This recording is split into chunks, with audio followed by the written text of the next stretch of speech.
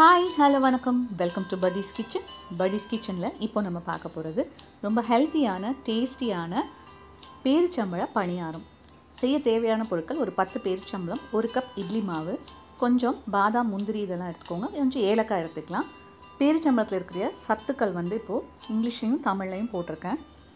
பேரிச்சம்பளத்தில் நிறைய இரும்புச்சத்து கால்சியம் இதெல்லாம் இருக்குது ஸோ பெண்களும் குழந்தைகளும் அதிகமாக எடுத்துக்கிட்டால் ரொம்ப நல்லது.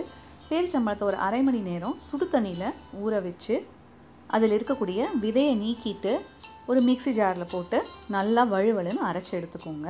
இப்போது இதை தான் நாம் வெல்லத்துக்கோ சுகருக்கோ பதிலாக யூஸ் பண்ண போகிறோம் பாகு எடுத்து பணியாரத்துக்கு சேர்ப்போம் இல்லைங்களா? அதுக்கு பதிலாக இப்போது இதில் இட்லி மாவும் பேரிச்சம்பழம் நம்ம அரைச்சி வச்ச பேஸ்ட்டையும் சேர்த்து மிக்ஸ் பண்ணிக்க போகிறோம் ஒரு கப் இட்லி மாவுக்கு இந்த மாதிரி ஒரு பத்து பேரிச்சம்பழம் போட்டால் கரெக்டாக இருக்கும் இனிப்பு. உங்களுக்கு இனிப்பு அதிகமாக வேணும்னா இன்னும் கொஞ்சம் கூட பேரிச்சம்பழம் சேர்த்துக்கலாம். இந்த மாதிரி நல்லா கலந்து விட்டுக்கோங்க. மாவு வந்து புளிச்ச இட்லி மாவாக இருந்தாலும் பரவாயில்ல நல்லாயிருக்கும். இதில் நம்ம கொஞ்சம் கூட முந்திரி பருப்பு பாதாம் இதெல்லாம் பொடி பொடியாக கட் பண்ணி போட்டுக்கலாம். காஞ்ச திராட்சை ஏலக்காய் பொடி சேர்த்துக்கலாம். ரொம்ப வாசமாக ரொம்ப டேஸ்ட்டாக இருக்கும். ரொம்ப ஹெல்த்தியானதும் கூட. ஸோ கண்டிப்பாக நீங்களும் ட்ரை பண்ணி பாருங்கள் அடுப்பில் பணியார சட்டி வச்சுட்டு அது நல்லா சூடானதும் ஒவ்வொரு குழியிலையும் கொஞ்சம் எண்ணெயோ நெய்யோ சேர்த்துட்டு மாவு விட்டுக்கோங்க. ஒரு சைடு நல்லா வெந்ததும் திருப்பி விட்டு ரெண்டு சைடும் கோல்டன் ப்ரௌன் ஆனதும் எடுத்துட்டோன்னா நம்ம பணியாரம் ரெடி ஆகிடும் நான் இதில் மேலே முந்திரியும் திராட்சையும் வச்சுருக்கேன்.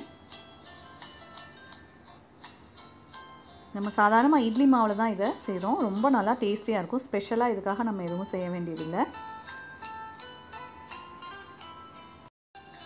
ஒரு அஞ்சு நிமிஷம் மூடி வச்சு வெந்ததும் திருப்பி விட்டுட்டு ரெண்டு சைடும் வேக வச்சு எடுத்தோன்னா நம்ம பேரிச்சம்பழ பணியாரம் ரெடி ஆகிடும் நீங்களும் கண்டிப்பாக செஞ்சு பாருங்கள் ரொம்ப நல்லாயிருக்கும் பேரிச்சம்பழம் பிடிக்காத பசங்களுக்கு கூட நம்ம இந்த மாதிரி செஞ்சு கொடுக்கும்போது அவங்களும் விரும்பி சாப்பிடுவாங்க.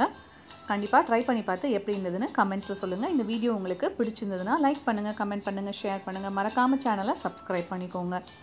அப்படியே பெல் பட்டனையும் கிளிக் பண்ணிக்கோங்க. அப்போ தான் உங்களுக்கு என்னுடைய புது வீடியோஸோட நோட்டிஃபிகேஷன்ஸ் தவறாமல் கிடைக்கும். பாருங்கள் எவ்வளோ சாஃப்டாக இருக்குதுன்னு.